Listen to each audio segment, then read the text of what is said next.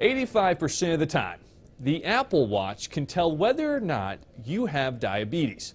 An ongoing study by app developer Cardiogram and the University of California is tracking over 14,000 Apple Watch and Android Wear users, gathering data on many patients who have diabetes, among other ailments.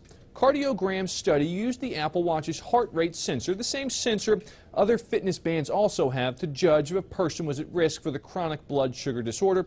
According to the Framingham Heart Study of 2015, a person's resting heart rate and heart rate variability could successfully predict the development of diabetes.